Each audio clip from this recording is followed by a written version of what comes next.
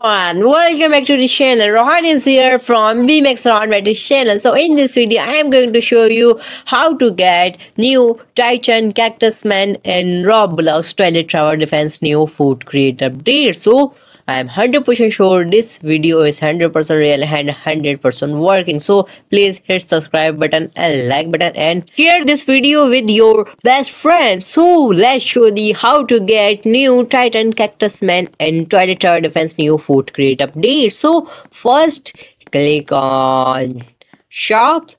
See guys, guys I click on shop. See guys, here is Titan Cactus Man. Here is the all states of Titan Cactus Man. So first you need to buy exclusive food crate. So food crate price is 400 Robux. So this is expensive. So 3 crate price is 999 Robux. 10 crate price is 2999 Robux. So this Titan is so expensive and this Titan chance is 0.1%. So very hard to get this Titan. So I hope this video helps you. Thanks for watching. Bye bye guys.